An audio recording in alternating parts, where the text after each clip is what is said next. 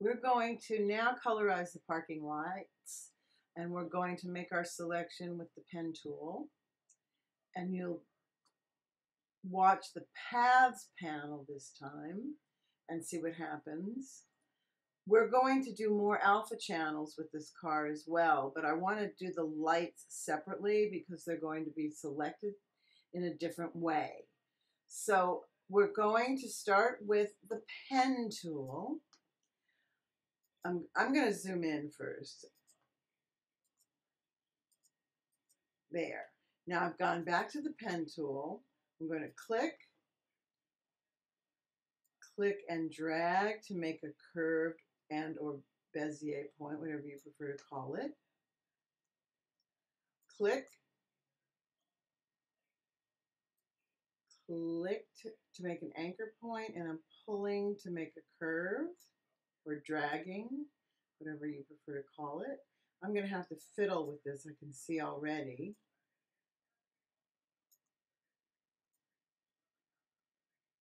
And now I'm going to close it. See that circle? I'm going to close it. Now I can see I need to move things around. I can go to my white arrow. I can stay in the pen and use a modifier key, which would be the command key on a Mac, the control key on a PC. Oops. They must, all be selected. Oh, darn. Let me click off and then click back on. There we go sometimes if all the points are selected, it doesn't do what you want it to do. You want to, the nice thing about the direct selection tool or the white arrow is you can select individual anchor points. Uh, you cannot do that with the black. The black one will make a copy, but the white one will let you edit more um, sophisticated point, one point at a time, really. So that doesn't look so bad. Oh, let's see. This could come out just a teeny tiny bit. There we go. All right. Um, again, I'm going to hold the modifier key. So there's my left screen left headlight. I'm going to press the space bar to temporarily get the hand tool so I can pan over to the other, I'm sorry, not headlight, parking light. And I'm, now I didn't change anything. I'm on this work path because I want them both to be on the same work path. I'm going to click here to start a new path click and drag, click and drag. I'm going to click here, click and drag a little bit. There's going to be some editing that's going to have to be done. Click and drag here, click and drag there, click and drag, oops, there, and Okay, there's a little bit of editing. I'm going to hold down the modifier key, which is the command key on the Mac. Again, I did the same thing. Click off of here and now grab a point. This is the point I want grab. Terrific. Click this point right here. It looks like I could grab the handle. I really want to break these handles. So I'm going to hold the option key See, that's that. If you did it on the main anchor point, it'll change it to linear. If I do it on the handle, I get instead of like a seesaw with the hand with the with the um, curve point, I get more of a. They're separate, and I can edit them separately. See, they're separate from each other. You can join them back in. That's the beauty of the pen tool. When you get comfortable with it, you have a lot more control.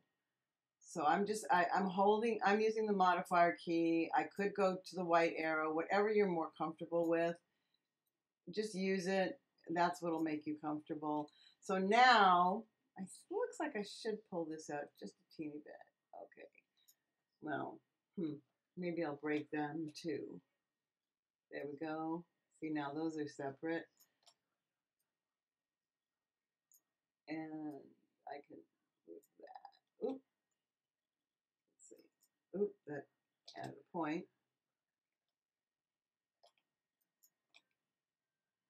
Yeah, I need to move that just a tiny bit. Okay, that's good. Now I've got both of the parking lights on here. I'm going to name this parking lights. Uh, lights. Change that. Lights. So not that that matters that much. You will name things the way you want to name things. Now, to get, you know, in Photoshop, you must have marching ants to, to get a stencil. So I'm going to change this. So I've got my marching ants. I'm going to double click the hand tool so we can see what we're doing. I'm going to turn off Chris's name. Thank you, Chris, for a wonderful picture. And I am going to get the adjustments again and get an adjustment layer uh, for the parking lights. There's the properties panel. Remember we used colorize and I'm going to move over to a yellow green and ramp up the saturation. I think that looks pretty cool. And we've got the same thing going on. Remember, I'm going to change this from hue saturation to hue parking lights so that as I build on this project, I will know what's what. I won't be confused. So there we go. See, there's the parking lights. If I go back to the car layer, the only thing that's there is the alpha channel we made earlier. So that was in headlights, I believe, was the uh, project. Headlights, alpha channel headlights. So there you have it, and we'll have more to do with alpha channels next time.